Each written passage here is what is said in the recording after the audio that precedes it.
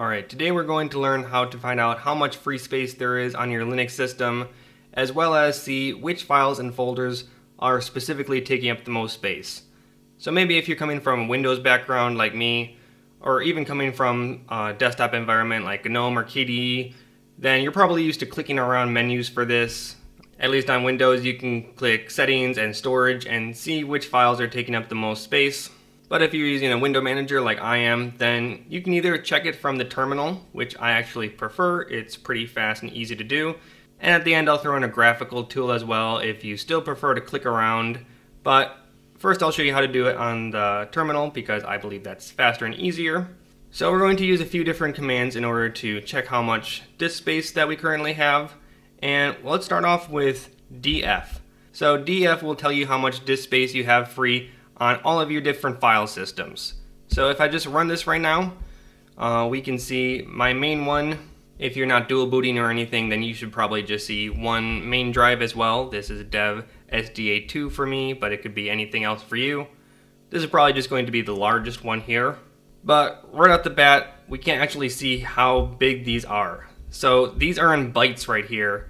And if you're like most normal people and can't translate these bytes into megabytes and gigabytes, then you're going to want to run the dash H option right here, which means render it human readable. So I can actually read this.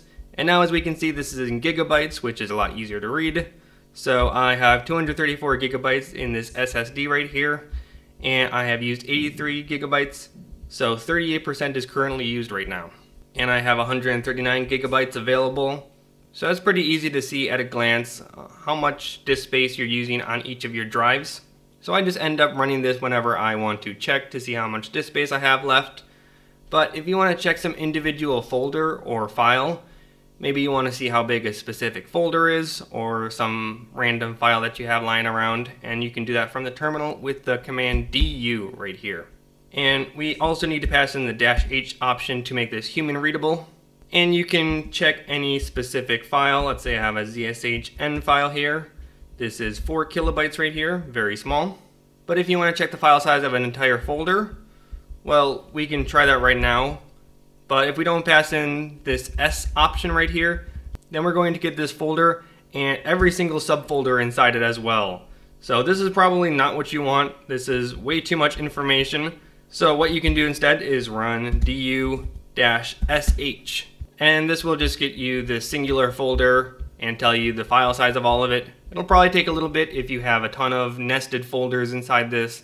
So the more files and folders that you have inside a directory, the longer it's going to take. This took 7 seconds, which isn't too bad.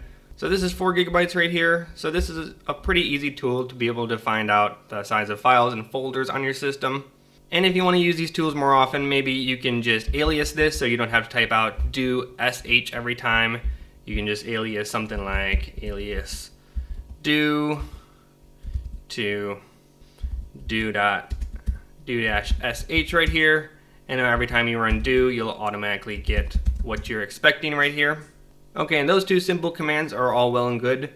But now let me show you my favorite tool that I use probably the most often and this is ncdu so ncdu will show you exactly which files and which folders on your system are taking up the most space.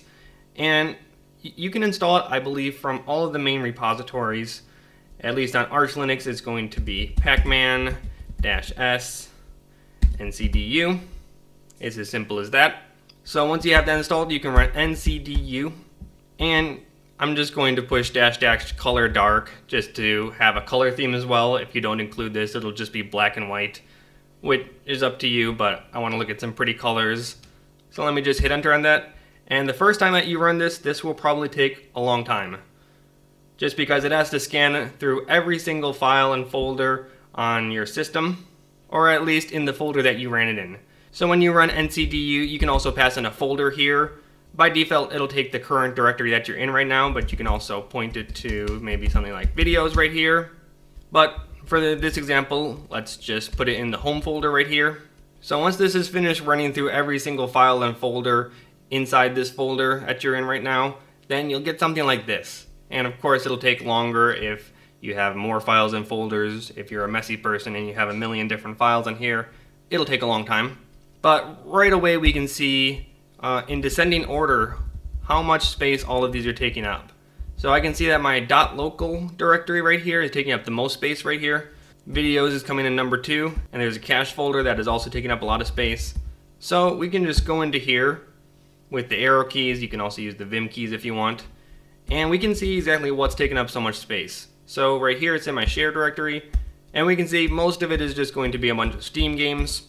Now I don't necessarily condone playing games, but I do have a few games in here from before. So if you want exactly to see which ones are taking up the most space. You can go in here, Celeste it's taking up 2 gigabytes, and so on and so forth. And if you want to actually delete a file or folder in here, you can hit the D key right here. And be very careful with this because you can just delete and nuke an entire folder that you didn't mean to. So do be careful when running this. I'm going to push no, I don't want to delete that. I wouldn't necessarily recommend deleting folders and files in here uh, I would do that somewhere else where it's a little bit safer, but if you want to, you can. But let me just back out, all, out of all of this. And so you can just go through every single file and folder and see which specific files are taking up the most space. You can go all the way down to the file level right here and delete individual files if you want. And down at the bottom, it'll show you how much space is currently being used in this specific folder. And so whenever I'm seeing that my disk space is running out, you can just open this up and see the culprits. Sometimes you have to clear out the cache if you're running something like Arch Linux and the cache gets filled up a lot. Maybe you have some random files around that you didn't know were so big and you can just go through and delete these. So this is the home folder and of course we can also just go into another folder right here, open up NCDU right here, and then you can just see everything inside this folder right here. But if you want to run NCDU for the entire file system, you can run NCDU, let's say color dark, and then you can put in the dash X option and then slash. So this will get your entire file system. This dash X is just saying only do this file system, none of the other ones. So let's run this and then it'll again go through all of the different files and folders and so if you want to see every single file and folder on your computer, then this is going to be it. So most of it is being taken up by the home directory. We already saw that. But we can also look under this user directory, under lib, and these are a whole bunch of applications and things that are taking up space. These are all fine, but if you just want to look through these, you can. So that's a pretty easy way to scan your entire system and see who the culprits are. But finally, let me just leave you with one more thing to be honest, this is all I use, but if for some reason you want a graphical interface to use this, um, there are a whole bunch of different ones that you can use. Personally, I would probably prefer Baobab the most, which is a really weird and ugly name, but it's basically the GNOME disk utility, and when we open this up, uh, as we can see, it's like a GNOME theme. It's built for GNOME, but you can install it wherever you want. I think it's in all the standard repositories. And so you can click through this, maybe it's a little bit easier for you to use than something in the terminal. Again, it's your preference. This is going to take a while again to load. But if for some reason you want this fancy graphic on the side, so you have all the information that you would have in NCDU, but you also have this on the side, which I don't know, I don't really care about because this is basically unreadable to me. It's just pretty colors is all it is basically. But this option is open to you if you want. Wow, that is a lot of interesting colors right there. But you've seen all this before, I don't need to go over it again. You can guess what this would all do. And finally, I'll give you one more option just because I'm nice. You can also just do something like put the free disk space in your taskbar right here. So for example, I'm using Polybar, you might be using something different, but the principles are probably going to be similar. You can get some module that will basically display how much free disk space you have you can display it as a percentage, as a free space right here. Let me just open up my Polybar configuration right here. But personally, if you're using Polybar, you can do something like this. You can have a file system module right here, uh, get the mount point, and then display in the label how much free space we have here. So this is just telling me that I have 138 gigabytes free right here. You could display it as a percentage or something like that. I'm not going to go over this in this video. You can check out my polybar video if you want. But that's all you need to know about how to check how much free space is on your system right now. So now you never need to worry if you're running out of disk space or not, or seeing which files and folders are the largest. Use these simple tools and you'll never be left wondering again.